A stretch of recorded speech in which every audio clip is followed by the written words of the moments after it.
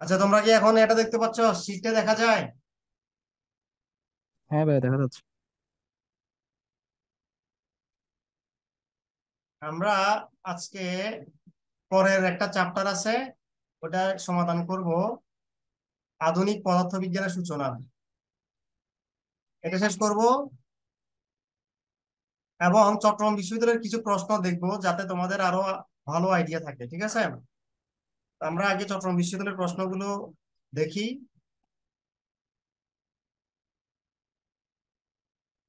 তারপরে আমরা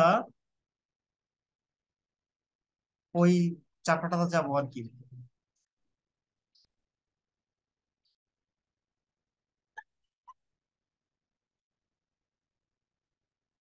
খেয়াল করো, এটা হচ্ছে যে চট্টগ্রাম বিশ্ববিদ্যালয়ে দুই হাজার একুশ এর প্রশ্ন, এটার ফিজিক্স আমি একবার দেখাইছি।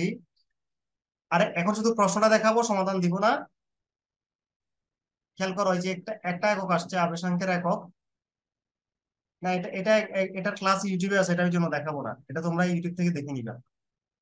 সো আমি এখন যেটা করব সেটা হচ্ছে যে, এই ইউনিটের একুশ সালের প্রশ্নটা দেখব।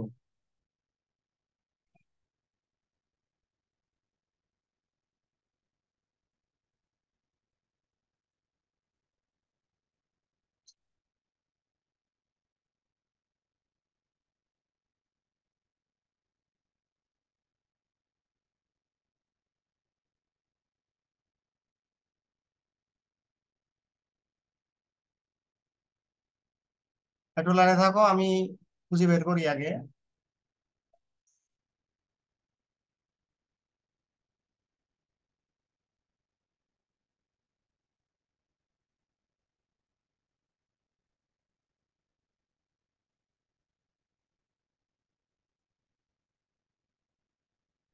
দেখো, এখানে একুশ সালের প্রশ্নটা আছে, এখানে আমরা ফিজিক্স এর প্রশ্নগুলো দেখি আগে হ্যাঁ? তাহলে তোমাদের আইডিয়া হয়ে যাবে যে আসলে প্রশ্ন কীরকম আসে মনে করো যে আমি এই শিফট থ্রিটা দেখতেছি আগে, কারণ শিফট টু এরটা আগে পড়াছিলাম হচ্ছে শিফট থ্রি এটা শিফট থ্রি কিংবা টু হবে। দেখিনি এটা শিফট ফোর চারটা শিফটে পরীক্ষা ছিল তো গত একুশ সালে, তার মধ্যে এটা শিফট ফোর তো খেয়াল করো, এখানে বলছে যে ভেক্টর একটা দাও আছে, এটার সমান্তরাল একক ভেক্টর বের করতে বলছে। তো সমান্তরাল বা একক ভেক্টর যখন বের করতে বলে, তোমাদেরকে যেটা করতে হয়, সেটা হচ্ছে যে সহগগুলো যে অনুপাত, সেটা সমান হয়। মানে হচ্ছে যে, মনে করো যে এই এটা যদি একটা ভেক্টর হয়, এটারই সমান্তরাল একক ভেক্টর যদি এটা হয়, মনে করো, তাহলে তাদের সহগের অনুপাত সমান হবে। অর্থাৎ আই নাও আই এর সাথে আই এর সহগ, এখানে সহগ হচ্ছে দুই, এখানে হচ্ছে দুই বাই তিন। তাহলে দুই ডিভাইড বাই দুই বাই তিন নিবা। আর হচ্ছে মাইনাস মাইনাস এক divide by minus one by three নিবা। আর হচ্ছে দুই ডিভাইড বাই দুই বাই তিন নিবা। তাহলে দেখবা যে সহগগুলো সমান আসবে। আমি তোমাদেরকে দেখাচ্ছি কেমনে সমান হয়। তাহলে প্রথমটা হচ্ছে যে দুই আই, আর পরেরটা হচ্ছে যে দুই বাই তিন। তো এদের অনুপাত নিতে অনুপাত মানে ডিভাইড বাই ডিভাইড বাই নিলাম তারপরটা আছে মাইনাস এক আর মাইনাস ওয়ান বাই তিন। তারপরটা আছে আবার এগুলো সমান হবে, এই অনুপাতগুলো সমান হবে। তারপরটা আছে দুই বাই দুই বাই তিন। ওই যে প্রশ্নের মধ্যেই আমরা বি অপশনটাকে যদি নিছি আর কি বি অপশন থেকে প্রশ্নের সাথে মিলালে যেটা হচ্ছে সেটাই নিলাম এখানে। তো এখানে যেটা হচ্ছে, সেটা হচ্ছে যে, খেয়াল করো, এখানে দুই ডিভাইড বাই এক গুণ তিন ডিভাইড বাই দুই ইকুয়াল টু এখানে আসবে হচ্ছে যে, এখানে আসবে শুধু তিন। এখানেও তিন আসতেছে, দেখো, দুই দুই কাটলে তিন আসে। এখানেও তার মানে তিন আসবে। তো সবগুলো দেখো অনুপাত সমান হয়েছে। তিন তিন তিন। তাহলে যেহেতু অনুপাত নেওয়ার ফলে সমান হয়েছে, তাহলে এই ভেক্টর দুইটি পরস্পর সমান্তরাল। কোন ভেক্টর দুইটি? অপশন বি আর প্রশ্নের যে, যেটা দেওয়া আছে সেটা। এই যে এখানে। এটার সাথে এই অপশন বি সমান্তরাল। এই জন্য উত্তর হচ্ছে অপশন বি তো এটা অন্য জায়গায় উপরের দিকে শিফট এটা শিফট ফোর তো? এটা হচ্ছে শিফট ফোর এর প্রশ্ন। ওই একই বছর এই ধরনের প্রশ্ন আরও আসছে শিফট ওয়ান টু থ্রিতে এই জন্য এখানে সমাধান দেখানো হয়নি, ওখানে সমাধান দেওয়া আছে। কোনটি মৌলিক রাশি নয়? তো মৌলিক রাশি এটা জানতে হবে তোমাকে, মৌলিক রাশি কোনগুলো? আর যেটি মৌলিক রাশি না, সেটা দেখাতে হবে। একটি ঘড়ির সেকেন্ডের কাটার কণিক বেগ কত? তো কণিক বেগ হচ্ছে যে ওমেগা। তো ওমেগা ইকুয়াল টু হচ্ছে two pi N divide by T two by two pi N divide by T তো যেহেতু সেকেন্ডের কাটার কণিক বেগ বলছে সেকেন্ডের কাটাটা একবার ঘুরলে এক মিনিট হয়। তাহলে আমি এন এর মান লিখব এক। এন এর মান এক হলে তখন হয়ে যায় two pi divide two pi divide by T তো টি হচ্ছে যে ষাট সেকেন্ড মানে sixty second R two pi divide by sixty তো টু এর সাথে সিক্সটি কাটলে হয় thirty that means five divide by thirty radian per second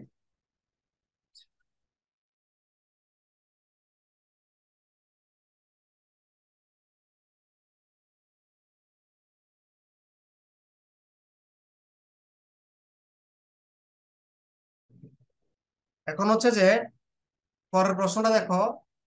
রৈখিক ত্বরণ ও কৌণিক ত্বরণের মধ্যে সম্পর্ক, তার মানে ইকুয়েশন এটা তোমরা জানো যে A equal to R alpha বা আলফা আর যেটাই লিখো দুইটাই কারেক্ট দেখো, একদিন আমি ক্লাসে বলছিলাম যে ফিজিক্সে আইসিটির প্রশ্ন দেয়, এবং সেটা হচ্ছে লজিক গেট থেকে। ওই ক্লাসে হয়তো খুব সম্ভবত আরিফ উপস্থিত ছিল। রিফাত মনে হয় ছিল। রিফাত কি ছিল ওই ক্লাসে জি স্যার আরিফ? হ্যাঁ ভাইয়া। ওকে। তাহলে ফিজিক্সে কিন্তু একটা লজিক গেট থেকে একটা প্রশ্ন দেয় আর হায়ার ম্যাথে বাইনারি থেকে একটা প্রশ্ন দেয়। এটা নোট করে রাখো। আচ্ছা তোমাদেরকে তোমরা যারা এই ইউনিটে পরীক্ষা দিবা তাদেরকে এখনও যেহেতু আবেদনের ডেট আছে তাদেরকে আমি বলব যে সি টু তে আবেদন করে রাখতে। পরীক্ষা দিবা না না দিবা এটা পরের ব্যাপার। সি টু তে তোমরা আবেদন করে রাখো। এটা তোমাদের জন্য একটা সুযোগ এটা মনে রাখবা। কারণ সেখানে শুধু ইংরেজি আর হায়ার ম্যাথ আনসার করতে হয়। জিকিউ আনসার করতে হচ্ছে না। তো হায়ার ম্যাথ যাই পারো তুমি, মনে করো চল্লিশটা, সত্তরটা প্রশ্ন আসবে তো, তুমি অ্যাটলিস্ট তিরিশটা তো পারবা। তুমি কিছুই পারো না, আমি মনে করি তুমি হায়ার ম্যাথ করো নাই। তাও তিরিশটা পারবা। আর হায়ার ম্যাথে তিরিশটার মতো প্রশ্ন জেনারেল ম্যাথ থেকে দিবে। ওখানে যে ম্যাথ ওইটা হায়ার ম্যাথ না ওটা ম্যাথ লেখা আছে। ওটা general math plus higher math mix করে দিবে।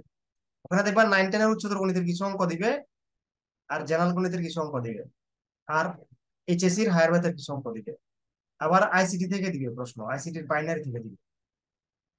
এই যে আমি তোমাদেরকে এগুলো যে ডিসক্লোজ করে দিচ্ছি যে প্রশ্নের প্যাটার্নটা কীরকম হবে, এটা দিয়ে তোমরা কি করতে পারো? মানে নিজেদেরকে স্ট্রং করে নিতে পারো। তো এই জন্য আমি বলব যে তোমরা পরীক্ষা না দিলেও একটু আবেদনটা করে রাখো। পরীক্ষা দিবে কে দিবে না এটা হয়তো পরে দেখবা যে হয়তো এই ইউনিটের পরীক্ষা খারাপ হয়ে গেলে হয়তো তখন দেখবা যে সিতে সিটুতে তোমার তুমি পরীক্ষা দিতেও পারো। তো এই ইউনিটে পরীক্ষা দেওয়া হায়ার ম্যাথ আনসার করে, আর সি ইউনিটে পরীক্ষা দেওয়া একই জিনিস। আর ওখানে তো তোমার সাথে সায়েন্স ছাড়া অন্য কেউ আসবে না। আর সায়েন্সের সবাই সিতে পরীক্ষা দিবে না। এই যে তোমরা যেরকম অনেকের দেওয়ার মন মানসিকতা নেই, এরকম বেশিরভাগ স্টুডেন্টেরই নাই। তো এই জন্য ওখানে আসলে ভাগ্যের উপরও কিছুটা নির্ভর করবে। মানে অনেকের দেখব যে প্রিপারেশন খারাপ কিন্তু চান্স হয়ে গেছে। এর কারণ হচ্ছে যে ওই যে ওটার ওটার স্পেসিফিক প্রিপারেশন খুব কম স্টুডেন্টে নিবে। মানে সি টু এর জন্য স্পেসিফিক ভাবে পড়তেছে এরকম স্টুডেন্ট খুব কম। সবাই এই ইউনিটের জন্য করতেছে সি টু এর জন্য কেউই করতেছে না। তো সি টু তো সায়েন্সের জন্যই। তো তোমরা এটাতে আবেদন করবা এটা আমার সাজেশন থাকবে তোমাদের উপর স্যার সালাম আলাইকুম স্যার। স্যার হ্যাঁ। একটা কথা। স্যার এই যে চবিতে চবিতে স্যার মানে ইউনিট ওয়াইজ যে স্যার ইয়া পরীক্ষা হয় স্যার এখন মানে রেজাল্ট কি স্যার ইউনিট ওয়াইজ আলাদা আলাদা দেয় নাকি সব ইউনিটের রেজাল্ট একসাথে দেয় মেরিট লিস্টটা ইউনিট ইউনিট ওয়াইজ আলাদা আলাদা এই ইউনিটের রেজাল্ট আলাদা ভাবে দিবে ডি ইউনিট আলাদা সি টু আলাদা সি ওয়ান আলাদা সি আলাদা। ইয়া শিফট শিফট ওয়াইজ আর কি শিফটটা এ ইউনিটের তো কয়েকটা শিফটে পরীক্ষা হয় একই সাথে। কিন্তু স্যার কোশ্চেন তো এক একটার এক এক রকম হইতে পারে স্যার। এখন তোমার প্যাটার্নটা একই রকম। জাস্ট মানে মনে করো এখানে সমান্তরাল দিছে তো, দেখবা যে এই যে এটা শিফট ফোর তো, তুমি দেখবা শিফট থ্রিতেও সমান্তরাল থেকে একটা দিছে, অথবা সমান্তরাল থেকে না দিলে লম্ব হইলেও দিছে। আমি তোমাকে দেখাচ্ছি শিফট থ্রিতে যাও। এই যে শিফট থ্রিতে আমি আসলাম তো, দেখো এখানে দেখো, দেখাচ্ছি। এখানে মধ্যবর্তী কোণ দিছে, মধ্যবর্তী কোণ। ওই একই চ্যাপ্টার থেকে প্রশ্ন দিবেই দিবে। বুঝা গেছে? জি স্যার। হ্যাঁ এরকম। তারপর হচ্ছে যে এখানে এত টেনশনে কিছু না এগুলা মানে হচ্ছে যে কাছাকাছি যে পারবে সে সব পারবে তাদের এইসব তারা এই ধরনের প্রশ্ন করে না। যারা পারে তারা তোমার এই ধরনের প্রশ্ন করবে না। যে পারবে সে সব পারবে। আর যে পারবে না সে বলবে যে ইউনিট শিফট ফোর কঠিন হয়েছে শিফট ওয়ান সহজ হয়েছে এইভাবে বলবে আচ্ছা ঠিক আছে। দেখো বলছে এই এটা অর গেট বলছে যে অর গেটের আউটপুটকে নট গেটের ইনপুটের সাথে যুক্ত করলে কি পাওয়া যায়? তো অর এর সাথে যখন নট গেটে তুমি যুক্ত করে দিবা তাহলে তুমি পাবা নর গেট কারণ অর এর সাথে নর যুক্ত নট যুক্ত হয়ে নর হয়ে যাবে। আশা করি ক্লিয়ার বুঝছে তরঙ্গ দৈর্ঘ্য আলফা এবং ফোটনের শক্তি যদি ই হয়, তাদের মধ্যে সম্পর্ক কি? তো সম্পর্ক হচ্ছে E equal to S nu এরকম একটা তোমরা ফর্মুলা করছিলে। A equal to E equal to H nu আমি দেখাচ্ছি। এটা হয়ে আছে আজকে আজকে আমরা যে চ্যাপ্টার পড়ব, খুব সম্ভবত ওইটাতে আছে, আধুনিক পদার্থবিজ্ঞানের সূচনা। যে তোমরা পড়ছিলা E equal to H nu বা এইচ এফ অনেকে এইচ এফ অনেকে এইচ নিউ এরকম করছ আর কি। দুইটাই কারেক্ট এইচ এফ এইচ হচ্ছে প্লাঙ্ক কনস্ট্যান্ট এফ হচ্ছে যে তোমার কম্পাঙ্ক তো এখন এই এফ এর জায়গায় তোমরা চাইলে সি বাই ল্যামরা লিখতে পারবা না পারবা তাহলে এইচ এফ এর জায়গায় আমি লিখলাম সি বাই ল্যামরা কারণ সি হচ্ছে আলোর ব্যাগ আর ল্যামরা হচ্ছে তরঙ্গ দৈর্ঘ্য। তার এই জন্য আমরা লিখি C equal to F lambda ওখান থেকে আসছে এটা। ওই যে এফ এর জায়গায় সি বাই ল্যামরা লিখে দিচ্ছি তাহলে H C divide by lambda তো আমাদের অপশনে এটাও নাই এটাও নাই, এটা আছে। H C divide by lambda সব আমরা ওইটাই দেখাইতে হবে। দেখো অপশন দেখো। এই যে বিতে তাকাও H C divide by lambda so এটাই কারেক্ট দেখো, এই যে আমি আমি এত তোমাদেরকে প্রথম ক্লাস দ্বিতীয় ক্লাস ওখানে প্রশ্নগুলো ব্যাখ্যা করছি সিইউর পরে কিন্তু আমি তার গতিবিদ্যা স্থির ক্লাস নিয়েছি, সেখানে আরও বড় বড় অঙ্ক সেগুলো এখানে নাই, তুমি খেয়াল করো। অঙ্ক খুব সহজ একদম ছোট ছোট অঙ্ক দেয়, না হলে ইকুয়েশন দেয়। এই এই প্রশ্নটা দিবেই দিবে, লিখে রাখো। এটা দিতে না, এটা যদি না দেয়, এটার কাছাকাছি আরও দুইটা আছে, সেগুলো দিতে পারে। অর্থাৎ সুস্পন্দ বিন্দু আর নিস্পন্দ বিন্দুর বলছে দূরত্ব কত? সুস্পন্দ বিন্দু একটি বলছে, একটি সুস্পন্দ বিন্দু ও নিস্পন্দ বিন্দুর মধ্যবর্তী দূরত্ব কত? আবার প্রশ্নটা এভাবে দিতে পারে, দুটি সুস্পন্দ বিন্দুর দূরত্ব কত? দুটি নিস্পন্দ বিন্দুর দূরত্ব কত? একটি সুস্পন্দ, একটি নিস্পন্দ দূরত্ব কত? এই তিন ভাবে প্রশ্নটা দেয়। নোট করে রাখতে পারো। উপরের দিকে দেখো, উপরের দিকে শিফট টুতে কি দিছে আমি দেখি। শিফট টুতে দেখবা যে ওই যে আমি যে তিনটা বলছি, তিনটার যে কোনো একটা দিছে। এই যে এটা হচ্ছে যে শিফট টু খুব সম্ভবত। এখানে কাছাকাছি আর একটা দশ পার্থক্যটা দিছে। এটাও দেয়। এই দুইটা প্রশ্ন একটা সিইউতে পাবা, লিখে রাখতে পারো। দুই টাইপস এর মধ্যে এটা হচ্ছে আরেকটা, এটা দশা পার্থক্য আর পথ পার্থক্যের সম্পর্ক। সম্পর্কটা হচ্ছে এরকম পথ পার্থক্য সমান, আবারও খেয়াল করো পথ পার্থক্য সমান lambda by two pi into দশা পার্থক্য এটা লিখে রাখো, এটা লিখে রাখলে পারবা। পরীক্ষাটা উল্টে দেয় আবার। পরীক্ষায় দেয় দশা পার্থক্য এর পাশে দিয়ে দেয়। দশা পার্থক্য সমান, তখন এটা উল্টে যাবে, এটা উল্টে হবে two pi by lambda into পথ পার্থক্য অর্থাৎ এই ইকুয়েশনটাকে ঘুরে দিতে পারে। দশা পার্থক্য এখন ডানে আছে, প- ও- পরীক্ষায় বামে দিতে পারে। তো এটা খাতায় লিখে রাখেন। এটা খাতায় লিখে রাখেন, আর হচ্ছে যে এটা একটু লিখে রাখেন। ওই যেটা বললাম সুস্পন্দ বিন্দু নিস্পন্দ বিন্দু দেখি শিফট ওয়ানে কি দিছিল।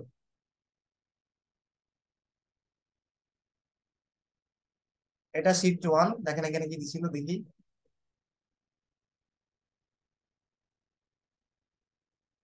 এই যে আমরা ওই দিন তাপগতিবিদ্যা থেকে বলছিলাম দেখো এখানে ওই যে আমি যা পড়াচ্ছি তাই দিছে, দেখো, একুশ সালের প্রশ্ন।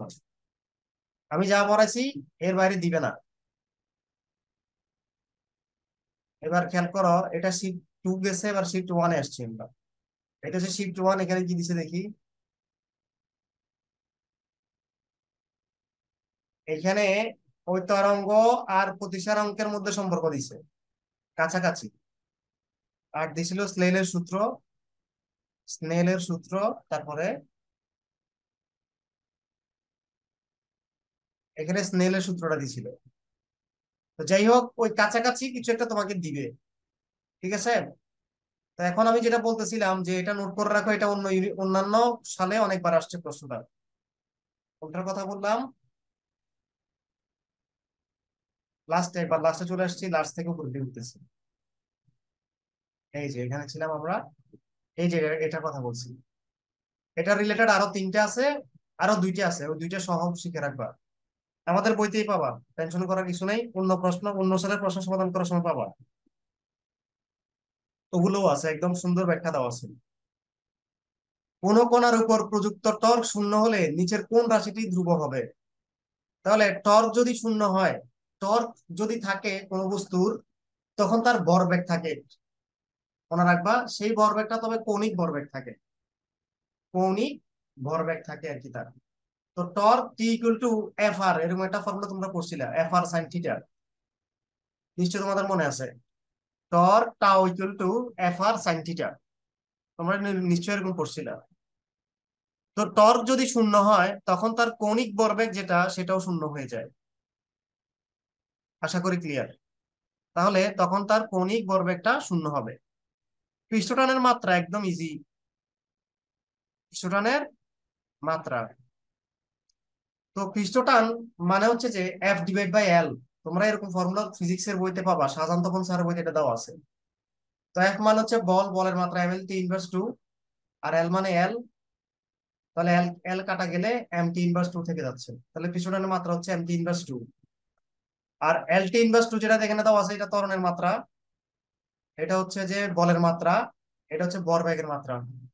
আশা করি ক্লিয়ার বলছে যে কোন বস্তুর উপর প্রযুক্ত বল এবং স্মরণের মধ্যবর্তী কোণের মান কত হলে কাজ সর্বোচ্চ হয়? কাজ সর্বোচ্চ হবে কেমনে? আমরা সূত্র মনে রাখব W two F S cos theta এটা মনে রাখব। এটা মনে রাখলে এবার আমরা কাজের মান যদি সর্বোচ্চ পেতে চাই, তাহলে কস থিটা সর্বোচ্চ মান আসতে হবে। কস থিটা সর্বোচ্চ মান এক। তো কস কত ডিগ্রির মান এক? সেটা জানলে হয়ে যাবে। কস জিরো ডিগ্রির মান এক। তাহলে উত্তর হচ্ছে জিরো ডিগ্রি আর ওই যে tau equal to F R sine theta সেখানে সাইনের মান যদি সর্বোচ্চ হয় টর্কও সর্বোচ্চ হবে। তো সাইনের মান নব্বই ডিগ্রিতে সর্বোচ্চ হয়, তাহলে টর্কও নব্বই ডিগ্রিতে সর্বোচ্চ হবে। তাহলে তুমি সূত্রটা মনে রাখবা, এই কোন টন এগুলা, এগুলো হচ্ছে যে সূত্রের উপর নির্ভর করে। ও সূত্রটা মুখস্থ রাখতে হবে। সূত্র দিয়ে বুঝতে পারে। তাহলে যেহেতু এখানে কাজ বলছে, কাজ হচ্ছে এফ এস কস্টিটা টর্ক বললে হবে এফ আর সাইন থিটা এভাবে করে তোমরা আগাবা। তাহলে দুটি ভেক্টরের মধ্যবর্তী কোণ বললে, ভেক্টর দুটি যদি ভেক্টর গুণফল হয় এবি সাইন থিটা আর যদি স্কেলার গুণফল হয় এবি কস থিটা ওখানেও কোণ বেড়ে যাবে অটো। তাহলে কোণের কথা বললে তোমরা সূত্রটা আগে মাথায় রাখবা, তাহলে অটো বেড়ে যাবে। বুস্থির উপগ্রহের পর্যায়কাল কত? এটা সিউতে তিন চারবার আসছে। এই প্রশ্নটা এটা ভিভিড প্রশ্ন। মুখস্থ রাখবা, চব্বিশ ঘণ্টা। বুস্থির উপগ্রহের পর্যায়কাল চব্বিশ ঘণ্টা। এটা একটু বুঝে দিই, বুঝে দিলে তোমাদের হয়তো মন থাকবে। কারণ আমার মনে হচ্ছে যে মুখস্থ করতে হয়তো মন থাকবে না। তারপর আমার মুখস্থ থাকে, তোমাদের থাকবে না হয়তো। আমার তো কনসেপ্ট মাথার মধ্যে আছে তো এই জন্য মুখস্থ থাকে। মনে করো এটা পৃথিবী। তো ভূস্থির উপগ্রহ হচ্ছে যে, মনে করো পৃথিবীর উপরে একটা উপগ্রহ, মনে করো এটা হচ্ছে বঙ্গবন্ধু স্যাটেলাইট। তো এই স্যাটেলাইটটাকে এমন ভাবে ব্যাগ দেওয়া হয়েছে যেন এটা পৃথিবীর ব্যাগের সমান থাকে। পৃথিবীর যে ব্যাগ এই ব্যাগের, এই গ্রহটার, এই উপগ্রহটার ব্যাগ যদি, এটা একটা উপগ্রহ, স্যাটেলাইট আর কি। এই স্যাটেলাইটের ব্যাগও যদি পৃথিবীর ব্যাগের সমান ব্যাগে দেওয়া হয়, তখন, এবং একই দিকে দেওয়া হয়, তখন পৃথিবী যদি যেদিকে ঘুরতেছে, মনে করো পৃথিবী এমনি করে ঘুরতেছে, তখন এই স্যাটেলাইটটাও যদি এমনি করে ঘুরে এবং পৃথিবীর সমান ব্যাগে, তখন এই স্যাটেলাইটটা সবসময় যে অবস্থানে ছিল, পৃথিবীর বাসীর কাছে সেই অবস্থানে মনে হবে। কেন মনে হবে? আমি বুঝাই। মনে করো দুইটা ট্রেন চলতেছে পাশাপাশি এবং দুইটা ট্রেনই একই দিকে যাচ্ছে। ঢাকার দিকে যাচ্ছে, চট্টগ্রামের দিক থেকে। দুইটা ট্রেন চলতেছে দুই লাইনে এই ট্রেনের মধ্যে তুমি আসো আর এই ট্রেনে তোমার বান্ধবী আছে। একই স্পিডে চলার কারণে তোমার কাছে তুমি তোমার বান্ধবীর হাত ধরে বসে থাকতে পারবা দুইটা ট্রেন পাশাপাশি হলে সমস্যা নেই। তোমাদের কারণ তোমাদের ট্রেনের স্পিড একই হওয়ার কারণে মনে হবে যে সে তোমার পাশাপাশি আছে সবসময়। কিন্তু স্পিড যদি বাড়ে কমে, সে আগে চলে যাবে, তুমি পিছনে চলে যাবা, এরকম হবে। তো এখানে বুস্তির প্রক্রিয়ার ক্ষেত্রে একই রকম দুইটা একই স্পিডে ঘুরলে তখন তুমি যদি এই জায়গায় দাঁড়ায় থাকো, তোমার মাথা থেকে যদি তুমি এটার দিকে তাকাও, যদি এটা দেখা যায়, তাহলে এটা তুমি সবসময় দেখবা। কারণ তুমি এদিকে ঘুরে এখানে চলে আসলেও তখন এটা ওইখানে চলে আসবে। তো সেই ক্ষেত্রে পৃথিবীর চ- আবর্তনকাল যেহেতু চব্বিশ ঘণ্টা, ওই বুস্তির আবর্তন গ্রহের আবর্তনকালও চব্বিশ ঘণ্টা হয়ে যাবে, কারণ একই স্পিড এই জন্য এই তখন এই গ্রহগুলোকে বুস্তির উপগ্রহ বলে। কেন বুস্তির উপগ্রহ মনে হয়? বলা হয়, কারণ পৃথিবী থেকে দেখলে, দেখতে মানে ভূমি থেকে দেখতে তাদেরকে মনে হয় যে যেন সে স্থির আছে। কেন মনে হয়? কারণ একই গতি। ওই যে তুমি তোমার বান্ধবীর সাথে বসে আছো একই ট্রেনে মনে হবে যে তুমি তোমার বান্ধবী স্থির বসে আছে তোমার সাথে। ঠিক একই রকম ওই পৃথিবীর সাথেও যখন এই স্যাটেলাইটটা ঘুরবে, তখন তোমার কাছে দেখে মনে হবে স্যাটেলাইট যেন ঘুরতেছে না, বসে আছে। যেমন পৃথিবী তো আসলেই ঘুরতেছে তো আমরা যখন নর্মালি কোন একটা এই চাঁদের দিকে তাকাই, আমাদের কাছে কি মনে হয় চাঁদ ঘুরতেছে? ঘুরতেছে বলে মনে হয় না। আমরা দেখি মনে হয় চাঁদ যেন স্থির। আসলে তো স্থির না। তো এরকম ওই স্যাটেলাইটের ক্ষেত্রে একই রকম। যখন এটা মনে হয় দেখতে যে এটা স্থির এই জন্য এটার নাম হচ্ছে বুস্তির উপগ্রহ। তো যদি বুস্তির উপগ্রহ হয়, সেটার আবর্তনকাল অবশ্যই চব্বিশ ঘণ্টা। এই কারণে সেটাকে দেখতে স্থির মনে হয়। কারণ পৃথিবীরও আবর্তনকাল চব্বিশ ঘণ্টা। আশা করি ক্লিয়ার প্রশ্নটা জটিল কিন্তু মনে রাখলে ইজি এটা নিয়ে আরিফ আর কোনো ঝামেলা আছে? আরিফ? না ভাইয়া নাই। রিফাত? না স্যার। পূজা? না স্যার। সামিহা? না ভাইয়া কোনো প্রবলেম নেই। চান্স পাবো তো তুমি। জি ভাইয়া ইনশাআল্লাহ। আরিফ। হ্যাঁ ভাই আছে তো। চান্স পাবানি সেটা বলো। হ্যাঁ ভাই ইনশাল্লাহ ইনশাল্লাহ তোমার বাসা খালি শহরে না? না ভাই আমি তো ভাই রাঙামাটি সদরে। রাঙামাটি সদরে ওকে ঠিক আছে। রিফাতের বাসা কোথায়? অলংকার। অলংকার না হালি শহর? স্যার নয় বাজার সরি। নয়া বাজার আর মুক্ত তোমার বাসা কোথায়? স্যার ময়মনসিং চান্স পাবা তো? ইনশাল্লাহ স্যার। পূজা জি স্যার। কতার মধ্যে থাকবা? জানি না স্যার। পাঁচশোর মধ্যে থাকতে হবে পাঁচশোর মধ্যে। কথার মধ্যে? পাঁচশোর মধ্যে। হ্যাঁ পাঁচশোর মধ্যে না থাকলে ভালো সাবজেক্ট পাবেন না। তো আপনি, আমি একটা কথা এই একটা জিনিস, এই আপনাদেরকে একটা টেকনিক শিখাই। এটা শিখাইলে আপনাদের জন্য একটু সুবিধা হবে আর মানে আপনাদের টার্গেট সেট করতে আর একটু সুবিধা হবে। একটা পরিসংখ্যানের বিষয় আর কি এটা, যে অনেকে যে কপালের কারণে চান্স পায় না, এদের কপালে কি ঘটে? ওই যে অনেকে ওয়েটিং লিস্টে থাকে না, দুই হাজার দুই হাজার তম হয়। দুই হাজার তম হয়ে ওয়েটিং লিস্টে থাকে চান্স পাবে কি পাবে না পাবে কি পাবে না, এটা টেনশনে থাকে। অনেকে পনেরোশোতম হয়ে এই ঘটনা ঘটে। অনেকে পঁচিশশোতম হয়ে এই ঘটনা ঘটে। এই রেঞ্জে থাকলে আপনার টেনশন মাথা মাথা চুল পেকে যাবে। কারণ সিট আছে বারোশো। গতবার দুই হাজার ক্রস করা নাই। কিন্তু তার আগের বার তিন হাজারও ক্রস করছিল। দুই হাজার একুশ সালে মেরিট লিস্ট দুই হাজারে, দুই হাজার একুশ সালে দুই হাজার বেশি যায় নাই। কিন্তু দুই হাজার বিশ সালে শুধু দুই হাজার বিশ না, দুই হাজার বিশের আগের সকল সকল বার দুই হাজার বিশের আগে কখনো এরকম ঘটনা ঘটে নাই যে তিন হাজার পর্যন্ত ইয়া পায় নাই সিট পায় নাই। দুই হাজার আগে সকল বছর তিন হাজার ক্রস করছিল। কিন্তু দুই হাজার একুশ সালে তিন হাজার দুই হাজারও ক্রস করে নাই। এখন আমার কাছে কেন জানি মনে হচ্ছে দুই হাজার বাইশ সালে একই ঘটনা ঘটবে। এটার একটা কারণ আছে। কারণটা হচ্ছে যে দুই হাজার একুশ সালে গুচ্ছের পরীক্ষাটা চট্টগ্রাম বিশ্ববিদ্যালয় পরীক্ষার পাশাপাশি সময় হয়েছিল। এই কারণে যারা চট্টগ্রাম বিশ্ববিদ্যালয়ে চান্স পাচ্ছে এরা গুচ্ছতা যায়নি এবারও সেম ঘটনা করতেছে দ্বিতীয়ত, এখন আর অনেকে গুচ্ছতে ভর্তি হতে চায় না। দেখবে যে গুচ্ছের বিশ্ববিদ্যালয়গুলোতে সিট ফাঁকা। যারাই চট্টগ্রাম বিশ্ববিদ্যালয়ে চান্স পায়, ঢাকা বিশ্ববিদ্যালয়ে চান্স পায়, রাজশাহীতে চান্স পায়, জাহাঙ্গীরনগরে চান্স পায়, এরা আর কোথাও যায় না। এরা গাপটি মেরে এখানে ভর্তি হয়ে যায়। কিন্তু আগে ওই যে গুচ্ছ বিশ্ববিদ্যালয়গুলোতে আলাদা পরীক্ষা হতো, যেমন সাস্টে আলাদা পরীক্ষা হতো, জগন্নাথে আলাদা পরীক্ষা হতো, কুষ্টিয়া ইসলামী বিশ্ববিদ্যালয় আলাদা পরীক্ষা হতো তো সেখানে অনেকে চলে যেত। চট্টগ্রাম বিশ্ববিদ্যালয়ে ভর্তি ক্যান্সেল করে ওইদিকে ভালো সাবজেক্ট পেলে চলে যেত। কিন্তু এখন আর বলা মানে ওইদিকের জন্য ওয়েট করে না। ওয়েট না করে এখানে ভর্তি হয়ে এখানে ক্লাস শুরু করে দেয়। আর গুচ্ছের ক্লাস শুরু হয় ছয় মাস পরে, ছয়, সাত মাস পরে। কিন্তু নর্মাল বিশ্ববিদ্যালয়গুলোতে ক্লাস শুরু হয়ে যায় সাথে সাথে। এই জন্য পোলাপানের ওদিকে যায় না, এখানে থেকে যায়। এই জন্য এবারও দুই হাজার সেট আপ করো টার্গেট দুই হাজার। দুই হাজার বাইরে যাবে না, এটা মাথার মধ্যে ঢুকো সিট আছে বারোশো। এখন ভালো সাবজেক্ট চাইলে ঢুকতে হবে পাঁচশোর ভিতরে। পাঁচশোর ভিতরে না থাকলে পারবা না। আর আরেকটা কৌশল তোমাদেরকে বলে দিচ্ছি, এটা সবাই কাউ, অন্য কাউকে না বললে তোমাদের জন্য মঙ্গল হবে। এটা হচ্ছে যে, খেয়াল করো, আমি বলি, মনে করো যে তোমার কলেজের ক্লাসের কথা চিন্তা করো স্কুলের ক্লাসের কথা চিন্তা করো স্কুলের স্টুডেন্ট কম ছিল তো, সেখানে কথা চিন্তা করো। সেখানে বেশিরভাগ দেখবা যে স্টুডেন্ট মানে অঙ্ক পরীক্ষা মনে করো সাপোজ দেখবে যে নব্বই পায় এরকম স্টুডেন্ট খুব কম আছে, অঙ্ক পরীক্ষায় বা বাংলা পরীক্ষা বা ইংরেজি পরীক্ষায়। মানে নব্বইয়ের উপরে পায় এরকম স্টুডেন্ট খুব কম, আশির উপরে পায় এরকম স্টুডেন্টও মোটামুটি কম। কিন্তু খেয়াল করে দেখবা তোমরা, পঁচাত্তর থেকে পঞ্চাশ নাম্বার পায় এরকম স্টুডেন্টই বেশি।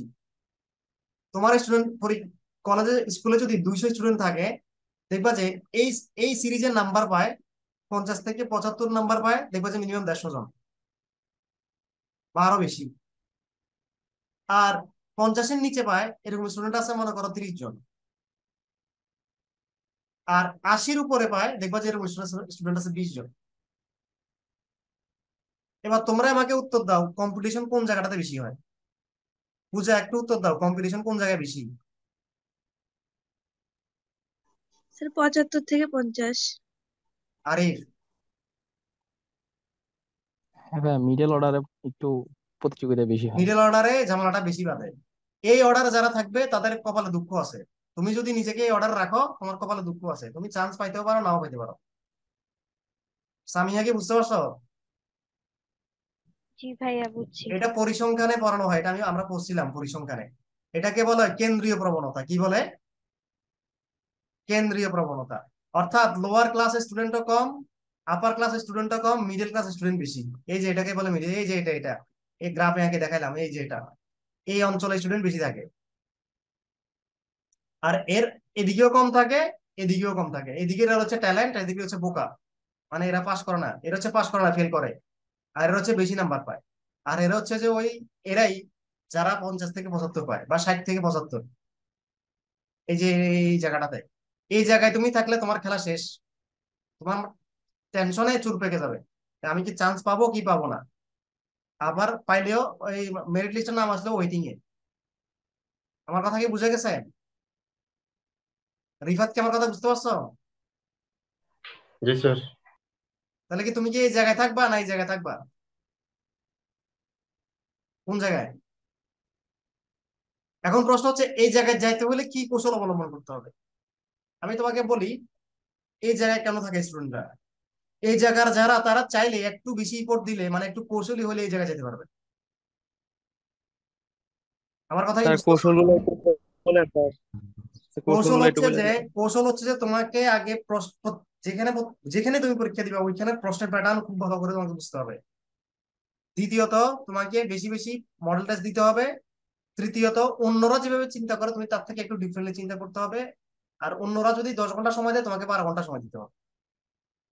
বুঝে গেছে?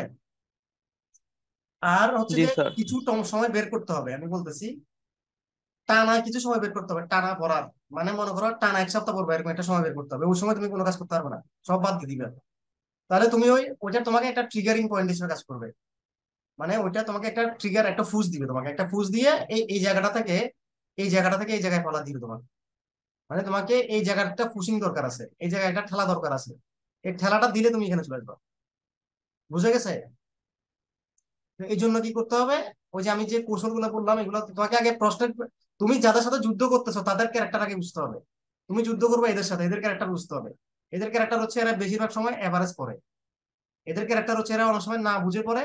এদের ক্যারেক্টার হচ্ছে অনেক সময় এরা মুখস্থ বিদ্যায় পারদর্শী হতে চায়।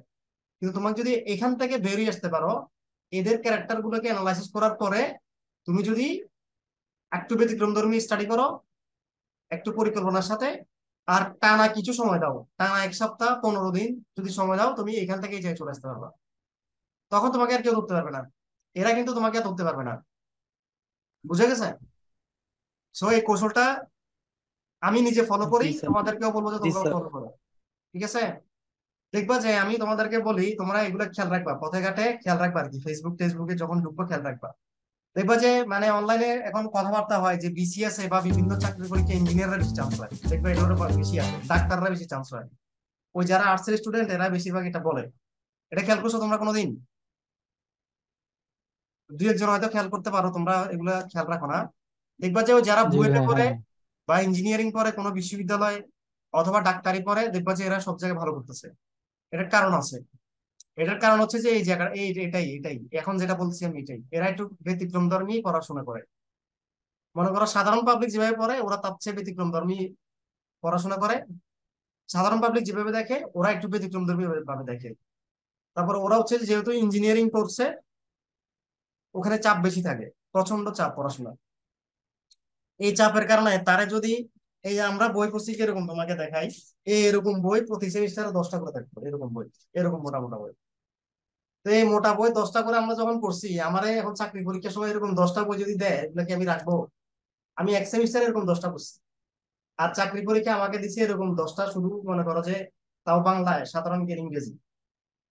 তো এগুলা কি আমার থাকবে? এগুলো থাকবে না, এগুলো তো স্পার্তা সব ছিঁড়ে যাবে। তো এই ইঞ্জিনিয়ারিং স্টুডেন্টরা ডাক্তারদের ডাক্তারি স্টুডেন্টদের এরকম হয় আর কি। এই জন্য ওরা ভালো করে। তো আর্টসের স্টুডেন্টরা বলে যে ওরা কেমনে ভালো করে? ওরা কেন চান্স পায়? ওরা এখানে কেন আসে? তো আমরা তো যাইতে বাধ্য হই। কারণ হচ্ছে যে এখন বাংলাদেশে সবকিছুতে সরকারি চাকরিজীবীদের মূল্য বেশি। তুমি খেয়াল করো মনে করো যে কোনো একটা প্রাইভেট কোম্পানিতে একজন ইঞ্জিনিয়ার চাকরি করে। আর একজন মনে করো ম্যাজিস্ট্রেট এখন মনে করো তোমার শহরের মোড়ে এসে যদি দাঁড়ায় দেখব যে ওই ম্যাজিস্ট্রেটের পাশেই মানুষ বেশি। ইঞ্জিনিয়ারকে কেউ চিনে না। এই হচ্ছে বাংলাদেশে এটা বাংলাদেশের প্রেক্ষাপটে এরকম আর কি, কিন্তু বাইরের দেশে উল্টা ঘটনাটা। তো এই জন্য বাংলাদেশে এখন সবাই যারা থাকতে চায় বাংলাদেশে, এরা বেশিরভাগই ওই সরকারি চাকরির দিকে চাকরির দিকে চলে যায়। কারণ ওইদিকে গেলে মোটামুটি মানে নিরাপত্তা বেশি আর কি। পাওয়ারও বেশি, ক্ষমতাও বেশি, ওইদিকে ওদিকে চলে যেতে চায়। তো ওটা ব্যাপার না ওটা তোমরা তোমরা সবসময় সায়েন্সের স্টুডেন্ট সায়েন্সে থাকার চেষ্টা করবা। আর্টসের না যাওয়াই ভালো। সায়েন্সের স্টুডেন্টরা সায়েন্সে পড়াশোনা আবার ওই যে বিবিএ ফ্যাকাল্টিতে গেলে তেমনটা খারাপ হবে না। ওটা ওখানেও অঙ্ক আছে। মানে মাথা চালু থাকে ওখানে। মানে মাথা চালু থাকে কিছু সাবজেক্ট আছে। ওখানে ভর্তি হলে তোমার মাথা এমনি চালু থাকবে।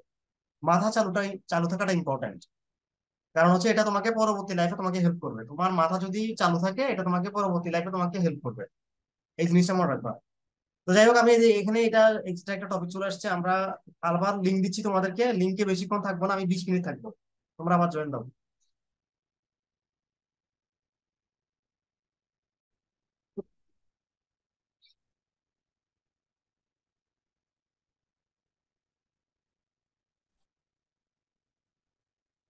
খেয়াল করো, আমরা আবার যেখানে ছিলাম ওখানেই যাচ্ছি।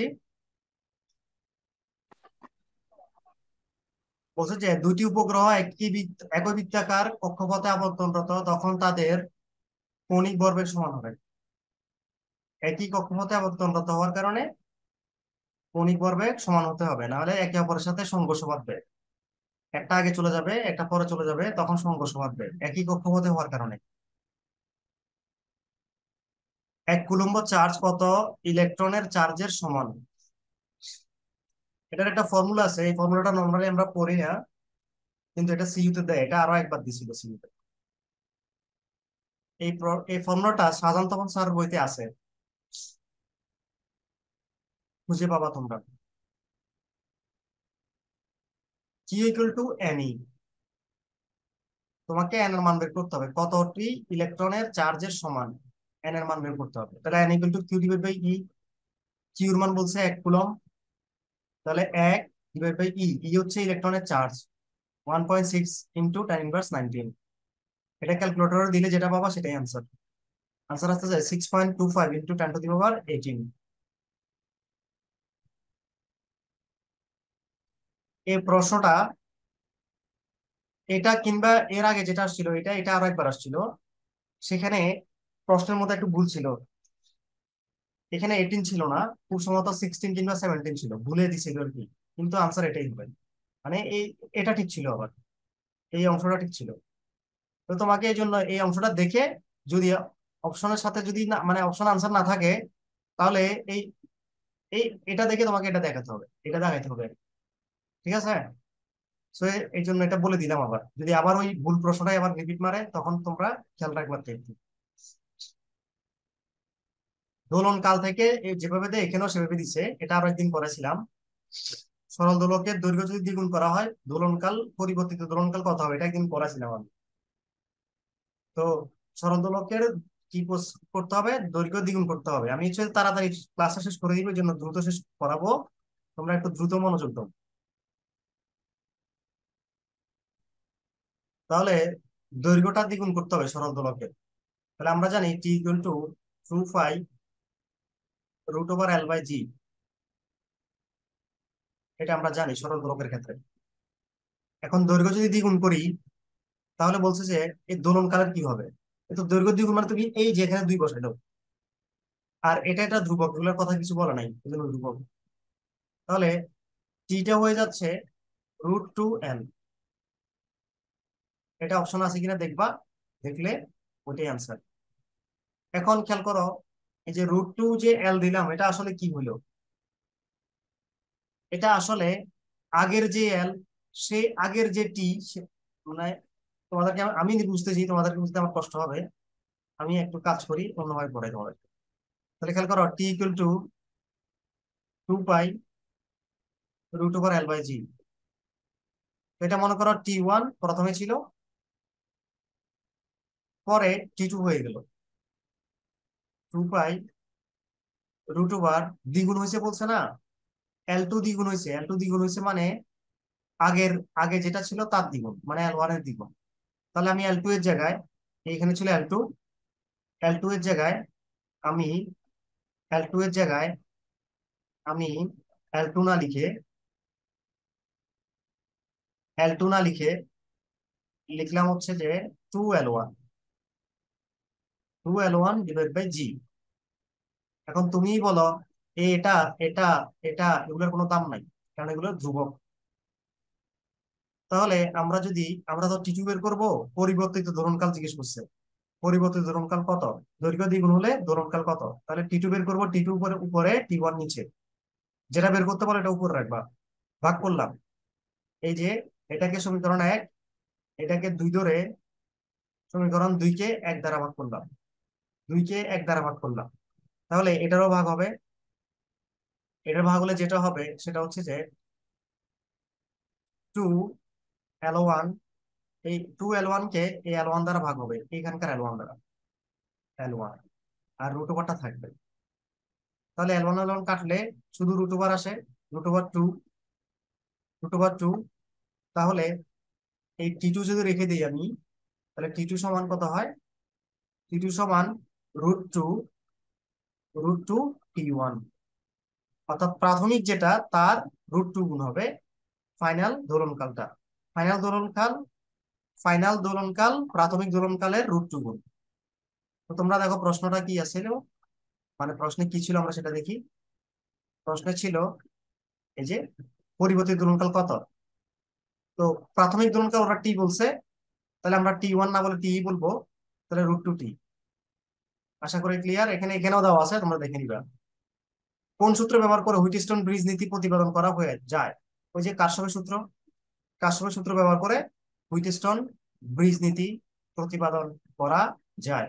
কারসবের সেকেন্ড সূত্র ব্যবহার করে।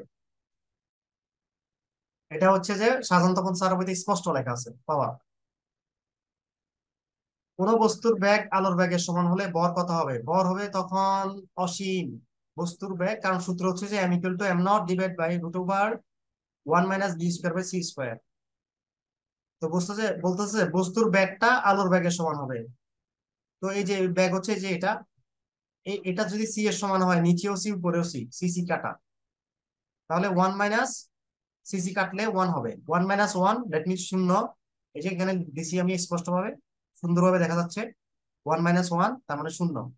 তো কোনো কিছুর নিচে যদি শূন্য হয়, তাহলে ওই মানটা হয় infinity so M equal to কি আসলো? ইনফিনিটি অর্থাৎ আলোর বেগ কি হলো? সমান হলে বস্তুর বেগের বস্তুর ভর অসীম হয়ে যাবে। বস্তুর ভর অসীম হয়ে যাবে। এটাও আজকে যে চ্যাপ্টার আমরা পড়ব, সেখানে কিন্তু আছে। আমি আজকে আজকে চ্যাপ্টারটার মোটামুটি, এখানেই মোটামুটি সামারি হয়ে গেছে। যেগুলো আছে, সেগুলো আমরা এখানে দেখে ফেলছি। ওই দেখো, দশা পার্থক্যের এটা এখানেও আছে। কিন্তু এখানে অন্যভাবে দিছে। বলছে যে টু ফাই দশা পার্থক্যতে টি পর্যায়কালে একটি পূর্ণ কম্পনের কণিক কম্পাঙ্ক কত? তো কণিক কম- কম্পাঙ্ক omega two two pi N divide by T N এর মান কত? এখানে বলো নাই। হচ্ছে এন এর মান একটি এন এর মানে এক, একটি পূর্ণ কম্পন এই যে, তাহলে two pi N divide by T এর জায়গায় আমি এন এর মান এক লিখে দিলে টু পাই বাই টি হবে। গঠনমূলক ব্যতিচারের ক্ষেত্রে পথ পার্থক্য এখানে পথ পার্থক্য দিচ্ছে গঠনমূলক ব্যতিচারে। এটা মুখস্থ রাখবা। সাজান্ত স্যারের বইতে সুন্দরভাবে দেওয়া আছে। তো গঠনমূলক ব্যতিচারের ক্ষেত্রে হচ্ছে এন ল্যামরা আর ধ্বংসাত্মক ব্যতিচারের ক্ষেত্রে হচ্ছে যে twice N plus one into lambda by two twice N plus one into lambda by two ধ্বংসাত্মকের ক্ষেত্রে। মনে রাখবা এইভাবে গঠনমূলক যেটা, সেটা হবে একটা পূর্ণমান, অর্থাৎ এন ল্যামরা আর যেটা ধ্বংসাত্মক, সেটা ভগ্নাংশ আকারে আসবে, অর্থাৎ এন ল্যামডা বাই টু মানে twice N plus one N lambda by two চৌম্বক ফ্লাক্সের রাশিমালা হচ্ছে যে phi equal to AB sine theta সাধারণ তখন স্যারের বইতে দেওয়া আছে, দেখে নিবেন। এটা হচ্ছে অ্যালুমিনিয়াম নিউক্লিয়াস, এটার প্রতীক দেওয়া আছে। বলছে পারমাণবিক সংখ্যা কত? একদম কেমিস্ট্রি থেকে পরে জানেন আপনারা, তেরো। তেরো হচ্ছে পারমাণবিক সংখ্যা। ধ্রুব ত্বরণে স্থির অবস্থান থেকে যাত্রা শুরু করলে দশ সেকেন্ড পরে কত দূরত্ব অতিক্রম করবে? তাহলে দূরত্ব equal to UT plus half ET square কারণ আমার কাছে এ আছে আবার টি আছে। আর বলছে, এই তরণটা ধ্রুব ত্বরণ। তো ওটা সমস্যা নাই। আর একটা জিনিস বলছে, স্থির অবস্থান থেকে, তার মানে আদিবেগ শূন্য। স্থির অবস্থান থেকে মানে আদিবেগ শূন্য।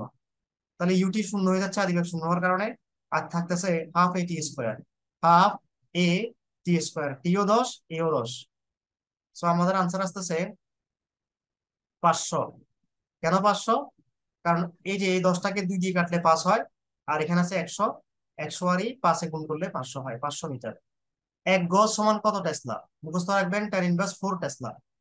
এক গজ সমান টেন ইনভার্স ফোর টেসলা।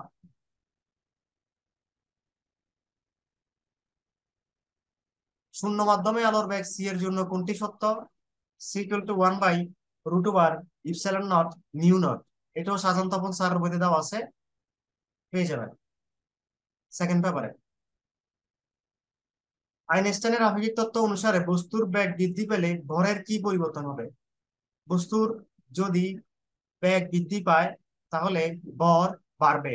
ওই যে আমরা একটু আগে দেখছি, এই যে এটাই এটাই। ওই যে বস্তুর বেগ যখন বেড়ে গেল, আলোর বেগের কাছাকাছি হয়ে গেল বা আলোর বেগ হয়ে গেল, তখন ভর অসীম হয়ে গেছে, ভর অনেক বেড়ে গেছে। তাহলে এখানে সেম সেম সেম জিনিস, বেগ বৃদ্ধি পেলে ভর বাড়বে। অর্থাৎ এই টপিকটা থেকে দুইটা প্রশ্ন দিয়েছিল একটু ভিন্নভাবে প্রোটন ও নিউটন নিয়ে নিম্নের কোন কোন কণাটি গঠিত হয় এরকম প্রশ্ন ছিল এটা, বা কোনটি গঠিত হয়? উত্তর হচ্ছে কোয়ার্ক। কোয়ার্ক হচ্ছে প্রোটন আর নিউট্রন নিয়ে গঠিত। প্রোটন প্লাস নিউট্রন সমান কোয়ার্ক, এভাবে লিখে রাখবেন। তাহলে দেখেন, আমরা যেভাবে পড়ি, তার বাইরে মানে আমরা যে স্টাইলে পড়ি, সেই স্টাইলে প্রশ্ন আসে স্টাইলটাই বুঝতে হবে স্টাইলটাই মেন জিনিস।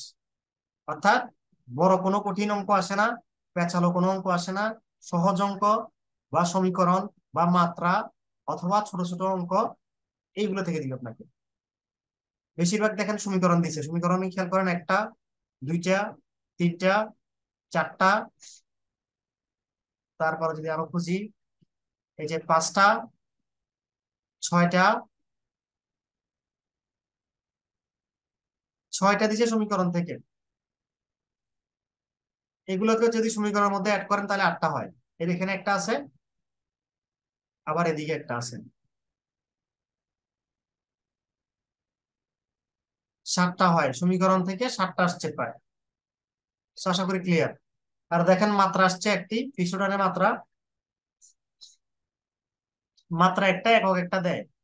এই এই শিটটি একক দেয় নাই শুধু মাত্রা দিছিল।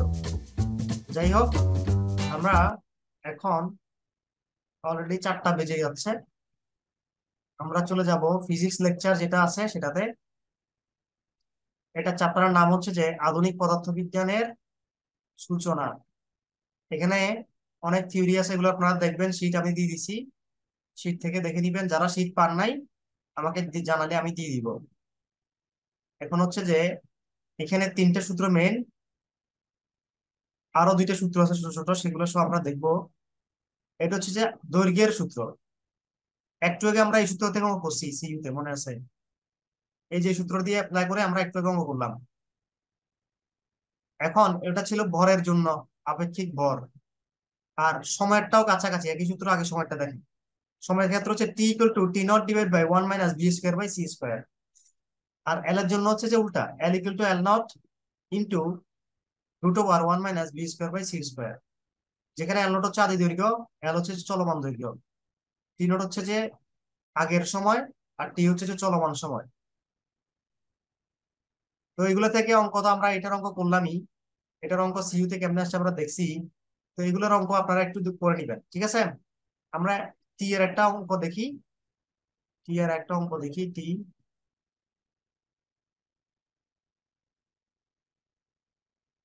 টি এর অঙ্ক হচ্ছে এই যে এটা দেখতে পারি আমরা। এটা দেখতে পারি। এটা এভাবে দিবে না। এখানে একটা কোশ্চিন করে দেওয়া আর একটু। সহজ করে যদি যাই।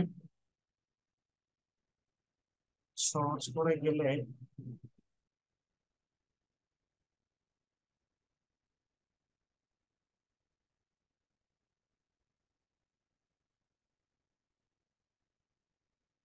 প্রশ্ন এখানে টি একটা দেওয়া নাই। আমি নিচ থেকে চাইলে বানিয়ে দিতে পারি।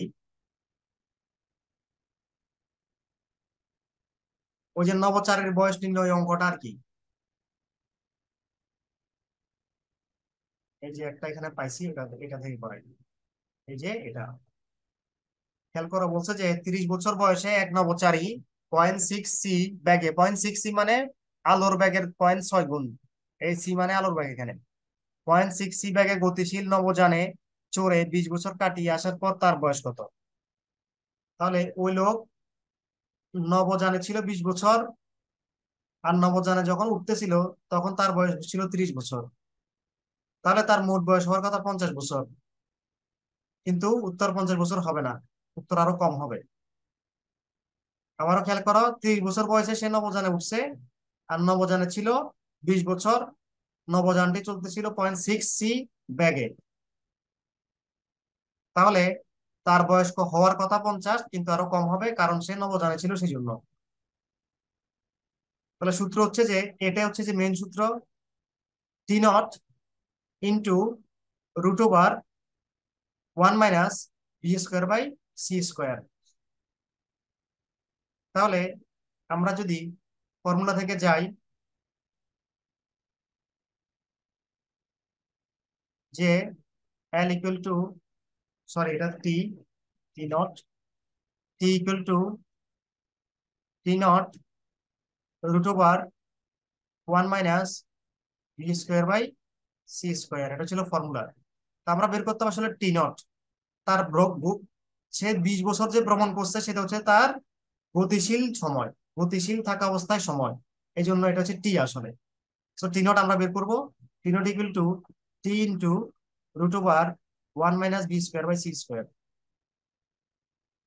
তো টি হচ্ছে যে সে বিশ বছর গতিশীল ছিল into root over one minus B হচ্ছে যে point six C point six C আবার এখানে নিচে একটা সি আছে আগে থেকে, দুইটাকে হোল স্কয়ার লিখে দিলে যা হয়। সিসি কাটা, তখন থাকবে পয়েন্ট সিক্স স্কোয়ার এবার এটাকে আপনি এই যে যেটা আমরা পেলাম বিশ into root over one minus point six square এটাকে আপনি ক্যালকুলেশনে দিলে যা পাবেন, সেটা হবে আনসার ক্যালকুলেশন করলে এখানে পাবেন ছাব্বিশ। এই যে এটার মান, ছাব্বিশ আসবে। তো ছাব্বিশ বছর হচ্ছে যে সরি ছাব্বিশ না ষোলো আসবে, ষোলো। ষোলো আসবে। তো ষোলো এটা আসলো, আর সে যখন নবযানে উঠতেছিল, তখন তার বয়স ছিল তিরিশ বছর। তাহলে এই নবচারীর বর্তমান বয়স হচ্ছে ফর্টি সিক্স বছর। আশা করি ক্লিয়ার আমরা এই প্রশ্নটাই করছি, যেটা এতক্ষণ আমাদের এখানে দেওয়া ছিল। এই যে এটা করছে এখন আমরা চট্টগ্রাম বিশ্ববিদ্যালয়ে কি ধরনের প্রশ্ন আসছে দেখি। ওই স্টাইলে কিছু প্রশ্ন। এই যে আপেক্ষিকতা সম্পর্ক, যেটা আমরা একটু করছি, সেটাই দিছে। অঙ্ক করছিলাম, যেটা থেকে সেটা দিছে। এল একটা দিছে। এত বেগে চলমান কোন কোনার ভরবেগ কত?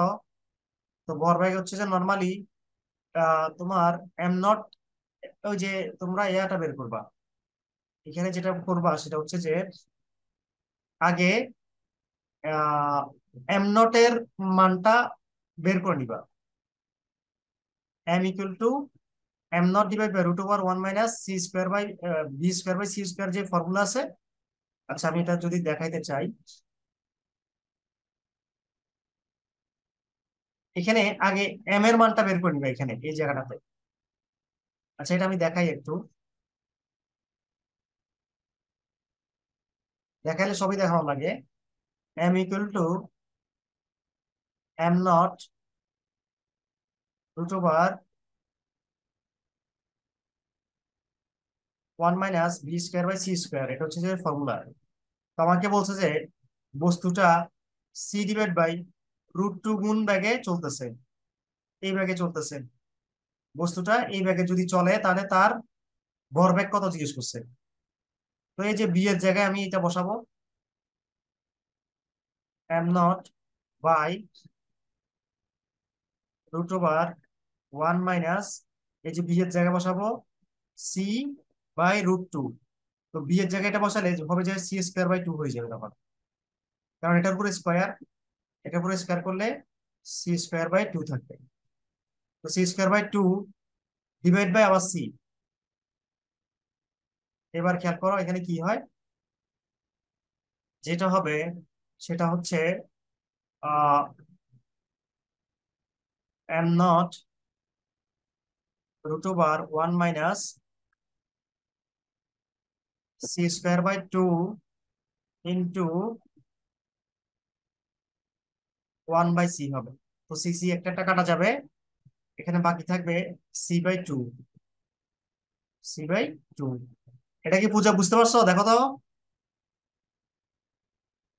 জি স্যার বুঝতে পারছি। ওকে তাহলে এখন এই যে এটাকে এখানে কাজ করলে যেটা পাবা এই যে এটাতে কাজ করো এবার।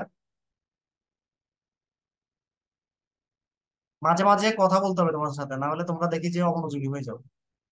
একদম মাতবল থাকে না। আরে কথা বলো না একবারে। যাই হোক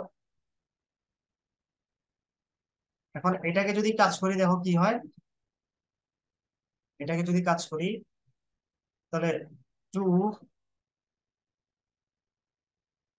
এখানে এখানে দেখাচ্ছি এম নট এখানে নিলে দশাগু নিলে টু আসবে টু মাইনাস সি আসবে। এরকম আসতেছে। এখন আমাদের ভরবেগ তো বের করতে বলছে ভরবেগ হচ্ছে যে এমবি আমরা জানি যে ভরবেগ হচ্ছে এমবি তো এম এর মান হচ্ছে এটা পাইলাম আমরা। তো এখানে এমবি হবে না, এখানে হবে এমসি এম সি তো আমরা যেটা করব সেটা হচ্ছে যে, উম, কি করতে পারি? এখানে এই এম এর মান, এটা তো এম এর মান আসলে? এটা এম এর মান তো এম এর মান এখানে বসে দিই। M naught M naught by two minus C divide by আবার টু এটার উপর রুট ওভার আর এখানে বি এর জায়গায় হবে আবার সি বাই রুট টু তখন এই অংশটাকে আবার কাজ করলে দেখবা যে এম নট সি আসবে। বুঝে? এখন কি বুঝতে পারছ? ওরা বলছিল বরব্যাগ জি, কত এইটা হচ্ছে বরব্যাগ তো আগে আমি এম বের করে নিছি এই যে এইভাবে। তারপর আবার ভি বের করে নিছি ভি তো ওরা দেওয়া হয়েছে প্রশ্নে সি বাই রুট টু এবার তুমি এটা বসালে এখানে কাজ করলে এটাই পাবা। এই যে রুট টু রুট টু কাটা যাবে আর কি। তখন দেখবা যে আবার ওই তোমার সিও এখানে রুট আছে তো একটা কাটা যাবে একটা থাকবে এরকম কিছু একটা হবে হয়ে এটা আসবে আবার। আশা করি ক্লিয়ার আমরা যেখানে ছিলাম, সেখানে যাচ্ছি। গতিশীল গড়ি নিশ্চল গড়ির চেয়ে গতিশীল গড়ি নিশ্চল গড়ির চেয়ে ধীরে চলবে, কারণ সময় কমে যায়। ওই যে নবচারীর বয়স কমে গেল, আমরা দেখলাম। কারণ নভোচারে গতিশীল ছিল। আপেক্ষিক তত্ত্ব অনুসারে বিবেগে চলমান কোন বস্তুর ভর আবার দিছে, এটা লাগবে না। একটু আগে, এই যে দেখো, এটা রিপিট দেখো, এই যে, এটা আসছে দুই হাজার সালে, আবার এটা আসছে পাঁচ সালে, দুই হাজার। যে পাঁচ সালে আসছে দুই, তিন বছর পরে আবার দিছে একই প্রশ্ন। এক এমইউ ভর যখন শক্তিতে রূপান্তরিত হয়, তখন শক্তির পরিমাণ কত?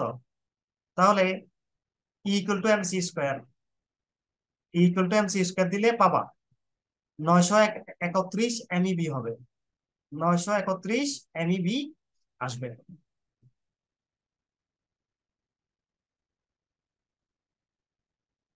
তড়িৎ শক্তির পরিমাণ এত কিলোওয়াট হয়, তবে রূপান্তরিত ভরের পরিমাণ কত গ্রাম? এটা হচ্ছে যে তোমার ও যে ভরকে রূপান্তর করা যায় মানে হচ্ছে যে তোমার এটা হচ্ছে যে মূলত এ থেকে আসছে।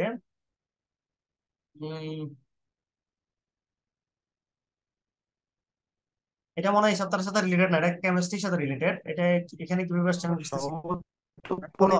আরিফ বলো। আরিফ শোনা যাচ্ছে না? পরিমাণগত রসায়ন থেকে আসে হ্যাঁ রসায়ন থেকে আসছে এটা। এটা এখানে। আসছে প্রশ্নটা বাদ।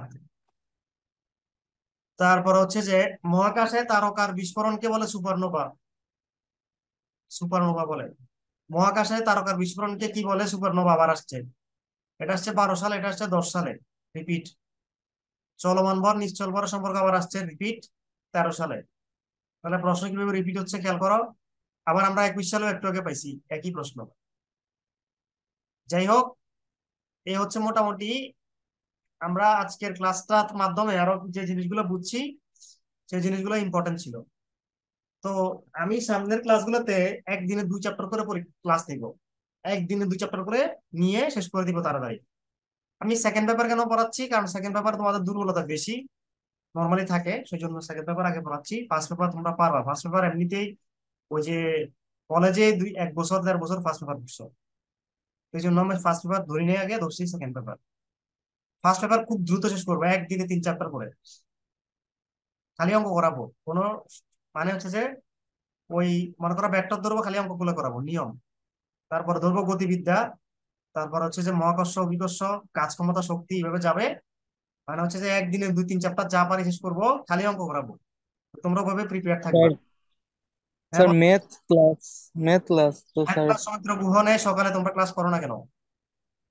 আচ্ছা তুমি মুক্ত তুমি কি মডেল টেস্ট স্টুডেন্ট নাকি আমাদের regular student regular student sir ব্যাচের তোমার রোল কত? কয়দিন আগে ভর্তি ছিল জি স্যার এই এই তো এক সপ্তাহ। এই তো স্যার রোল হলো স্যার স্যার রোলটা আমি কইতেছি ইয়া পঁয়ত্রিশ স্যার এ দুই হাজার তেইশ পঁয়ত্রিশ। তোমার নাম্বার শেষে বলো মোবাইল নাম্বার শেষে বলো।